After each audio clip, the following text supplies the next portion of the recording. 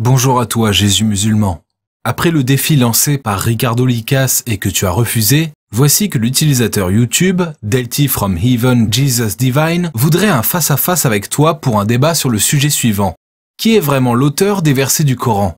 Bien entendu, tu vas te défiler comme toujours et nous le savons très bien.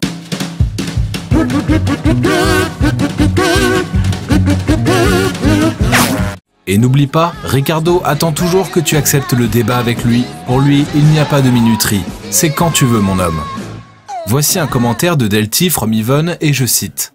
Pour moi, Mohamed est très loin d'être un prophète. Il était loin d'être une personne recommandable et fréquentable.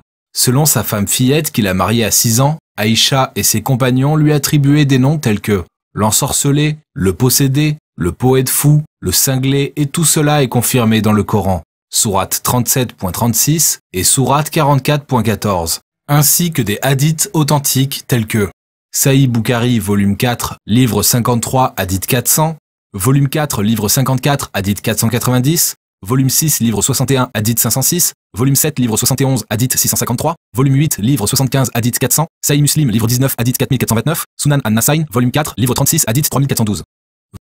Voici les divagations d'un homme qui se prétendait prophète et dans sa folie psychotique croyait qu'un dieu nommé Allah utilisait sa bouche pour guider l'humanité tout en prétextant qu'il était un excellent modèle à suivre. Quand on regarde de plus près, il faut se rendre compte que Mahomet était un homme sérieusement malade. Il dit à ses fidèles qu'ils peuvent battre leur épouse pour les soumettre. Déclara que les femmes sont stupides et que leur témoignage n'est pas fiable promu des pratiques païennes et idolâtres telles qu'embrasser la pierre noire et se prosterner devant la Kaaba, répéta des histoires inventées et les fit passer pour des révélations, décrit Dieu comme trompeur, incapable de protéger sa parole, la Torah et le Injil, et dépeint Jésus comme un échec total, fait prosterner Dieu et ses anges devant lui, espère envoyer des démons au paradis en leur prêchant et en les convertissant à sa religion, accoucher avec des cadavres, oublie des versets du Coran alors que sa révélation affirme sa mémoire infaillible. Promet un paradis rempli de vierges et de vin à ses fidèles en échange de la mort des ennemis de sa religion. Demande de couper la main pour n'importe quel délit de vol. Affirme ne pas connaître son destin et son sort dans l'au-delà mais prétend être le salut de l'humanité. Fait jurer Dieu par des créatures inférieures à lui.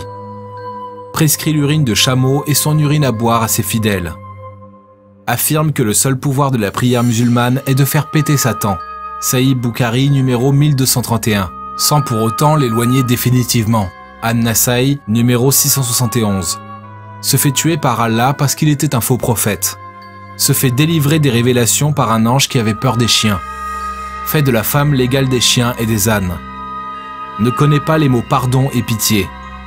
Affirme que les oreilles et le nez des musulmans sont l'urinoir et le lit de Satan. Malgré les horreurs que cet homme a commis et toutes ses élucubrations, Allah demande de le prendre pour le meilleur des hommes. Coran, Sourate 33-21. Il faut se poser la question, Mahomet serait un excellent modèle? Dieu n'aurait pas été en mesure de trouver un meilleur modèle que lui? Il ne faut pas chercher trop loin pour comprendre que Allah se discrédite totalement dans ce Coran supposément incréé et parfait lorsqu'il affirme que cet homme, ce Mahomet, est le chemin à suivre pour aller au paradis.